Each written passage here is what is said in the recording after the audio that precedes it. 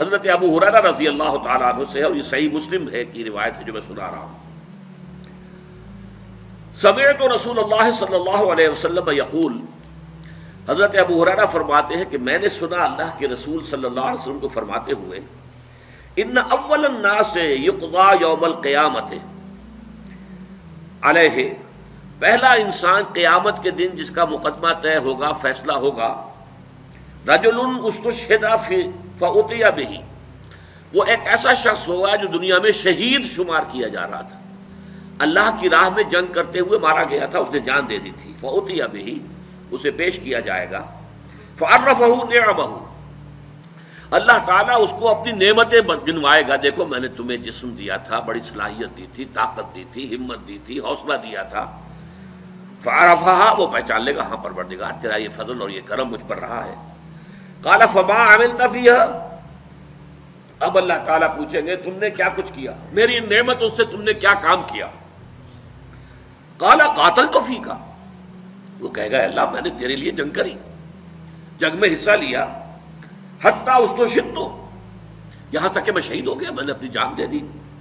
کالا کزبتا اللہ فرمائے گا، تم نے جھوٹ کہا ہے۔ ولا کن کا قاتل تلو کالا جری تم نے جنگ کی تھی اس لیے کہ کہا جائے کہ بڑا جری ہے، بڑا بہادر ہے۔ کیا کہنے ہیں؟ اس کے شاہ سوار ہے۔ تم نے یہ تعریفیں کروانے کے لیے جنگ میں حصہ لیا تھا۔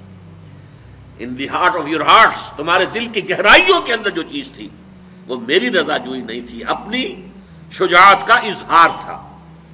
لہٰذا جری فقط قیلا وہ کہا جا چکا دنیا کے اندر۔ تمہاری جرت کے اور بہادری کے اور تمہارے جو ہیں وہ بڑے غلغلے بلند ہو چکے فقط قیلا سما او میرا بھی پھر اللہ تعالیٰ کی طرف سے فرشتوں کو حکم دیا جائے گا، فصحب اعلیٰ وجہ ہی پھر اسے منہ کے بل گھسیٹتے ہوئے حتیٰ القیا فنار جہنم میں جھونک دیا جائے۔ گا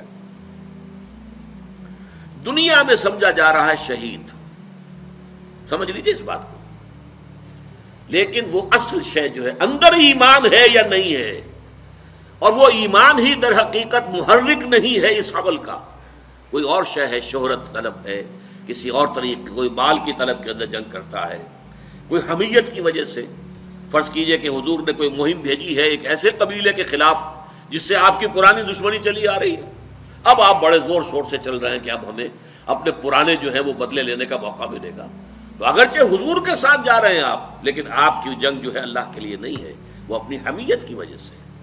تو اصل شے یہ ہے کہ دل کی کیفیت کیا ہے؟ دل میں وہ ایمان حقیقی ہے یا نہیں ہے؟ اور اس عمل کا جو اصل محرک ہے، وہ ایمان ہے یا نہیں؟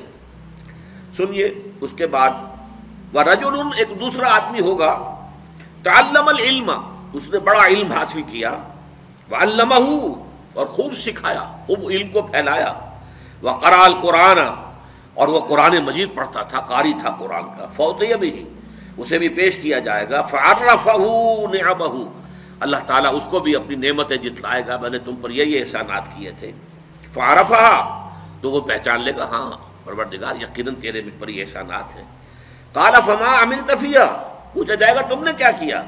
کالا تعلم تو علم تو اے اللہ، میں نے علم حاصل کیا اسے پھیلایا، لوگوں کو پہنچایا۔ وہ کرا تو فیقل قرآن اور تیری لیے، تیری خوشنودی کے لیے میں قرآن پڑھتا رہا۔ کالا کزب تھا۔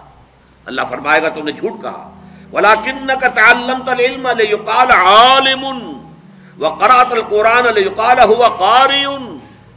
تم نے یہ علم اس لیے حاصل کیا تھا کہ تمہارے علم کا شہرا ہو جائے۔ بڑا عالم ہے۔ بڑا متباہر عالم ہے۔ اور قرآن پڑھتے تھے تاکہ کہا جائے بڑا عمدہ کاری ہے، بہت عمدہ کاری ہے۔ فقط قیلا وہ کہا جا چکا۔ تمہارا مطلوب جو تھا دنیا میں حاصل ہو گیا۔ اب یہاں تمہارے لیے کچھ نہیں ہے۔ سما عمر بہی فسوح بالا وجہ حتیٰ القیا فنار پھر فیصلہ ہوگا اور اس کو بھی منہ کے بل گھسیٹتے ہوئے فرشتے جو ہے جہنم میں جھونک دیں گے۔ وہ رجل وسا اللہ علیہ و آتا ہو من اصناف المال کل اور پھر ایک ایسے شخص کا مقدمہ پیش ہوگا جس کو اللہ نے بڑی وسعت عطا کی تھی اور اسے ہر قسم کا مال و اسباب دنیاوی جو ہے کثرت عطا کیا تھا۔ فوتیہ بھی فار رفا اسے بھی پیش کیا جائے گا، اسے اللہ جتلائے گا اپنی نعمتیں فارفہ وہ پہچان لے گا۔ فقال، فما عمل تفیہ پوچھے گا، تم نے کیا کیا؟ کالا ما ترک تو فی سبیل تو فقفیہ اللہ فق تو فیحا وہ کہے گا، اے اللہ، میں نے کوئی ایسا راستہ، کوئی ایسی بات جس میں کہ تجھے پسند ہے مال خرچ کرنا، نہیں چھوڑا، مگر میں نے خرچ کیا ہے۔ ہر اس معاملے میں جو تجھے پسند ہے کہ مال خرچ کیا جائے، میں نے مال خرچ کیا ہے۔ کالا کزب تھا، تم نے جھوٹ کہا۔ بلاکن کا فالتا نہیں کالا جواد۔ اور تم نے یہ سب کچھ اس لیے کہا تھا، کیا تھا کہ کہا جائے بڑا سخی ہے۔ فقط قیلا یہ کہا جا چکا ہے۔ سما ابر بہی فصحب اعلیٰ وجہ سما القیہ فنار پھر فیصلہ ہوگا اور اس کے بارے میں بھی حکم دیا جائے گا اور منہ کے بل گھسیٹتے ہوئے اسے جہنم میں جھونک دیا جائے گا۔ یہ ہے آج کے ہمارے سبق کے اعتبار سے والذین کفروا اعمالهم كسراب بقیعت یحسب الظمآن ماء حتى اذا جاءه لم يجده شيئا ووجد الله عنده فوفاه حسابه والله سریع الحساب